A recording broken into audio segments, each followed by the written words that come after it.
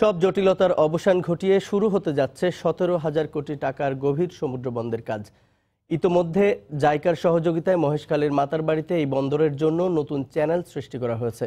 সাগরে বাঁধ দিয়ে ব্রেকওয়াটার সৃষ্টি করায় বড় বড় জাহাজ প্রবেশ করতে পারবে এখানে। মাতার বাড়ি ঘুরে এসে কমলদের দুপর্বের ধারাবাহিক প্রতিবেদনের আজ শেষ পর্ব। ক্যামেরায় ছিলেন শাখাবত টিপু।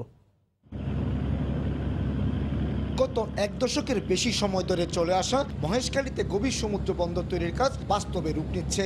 সম্প্রতি মাতার বাড়িতে শুরু হয়েছে দেশের অন্যতম বৃহৎ কয়লাভিত্তিক বিদ্যুৎ কেন্দ্রের কাজ। আর এই বিদ্যুৎ কেন্দ্রের কয়লা পরিবহনের জন্য জায়গা যেটি নির্মাণের যে পরিকল্পনা গ্রহণ করে, তাকে এখন গভীর সমুদ্র বন্দরে রূপ দিতে যাচ্ছে সরকার। ইতিমধ্যে সতেরো হাজার কোটি টাকার একটি প্রস্তাবনা পাঠানো হয়েছে একনেকে। সতেরো হাজার কোটি টাকা ডিপিপিও আমরা অনুমোদন করে দিয়েছি, একনাকে আছে। সেটা একনাক অনুমোদন করে দিলে আমাদের কার্যক্রম শুরু হয়ে যাবে। সিঙ্গাপুর সহ বিশ্বের গভীর সমুদ্র বন্দরগুলোর মতোই মাতারবাড়ি বন্দরও থাকছে। আধুনিক সব ব্যবস্থা এখানে সাগরে বাদ দেওয়ার মাধ্যমে এক দশমিক সাত কিলোমিটার দীর্ঘ একটি চ্যানেল সৃষ্টি করা হয়েছে। যে চ্যানেলের গভীরতা হলো ষোলো মিটারের বেশি এবং প্রস্থ অন্তত তিনশো মিটার। ফলে বিশাল আকৃতির মাদার ভেসেলগুলোকে প্রধান জেটির পরিবর্তে আর বহিনঙ্গরে অবস্থান নিতে হবে না। এই ব্রেক ওয়াটারের ফলে কি হচ্ছে? উপর থেকে যে পলি আসছে সেই পলিটা বাধা দিচ্ছে?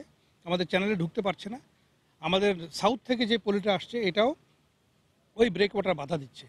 সো পলিটা আমার চ্যানেলের ভিতরে ঢুকতে পারছে না। পরিকল্পনা অনুযায়ী এখানে মোট জেটি থাকবে তিনটি।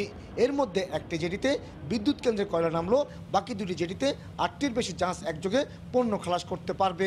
একই সাথে দশ হাজার টিওএস কন্টেনার ধারণ ক্ষমতার ইয়ার্ড তৈরি হবে এই বন্দরে। দু হাজার ছাব্বিশ সালের মধ্যে জেটি এবং তার পরের বছর ইয়ার্ড নির্মাণ শেষে অপারেশনে যাবে এই বন্দর।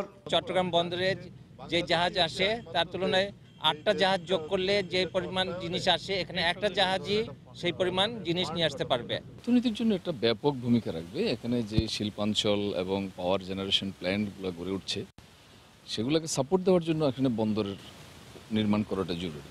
তো সেটা আমরা আশা করছি আগামী দুই হাজার চব্বিশ পঁচিশ নাগাদ আমরা অপারেশনে আসতে পারব। মাতারবাড়ি গভীর সমুদ্র বন্দরের মোট ব্যয়ের প্রায় তেরো হাজার কোটি টাকার যোগান দিচ্ছে জায়গা অবশেষে অবসান হলো গভীর সমুদ্র বন্দর নির্মাণ সংক্রান্ত সৃষ্ট জটিলতার। প্রতিবেশী কয়েকটি দেশ এই বন্দর নির্মাণে আগ্রহ প্রকাশ করল।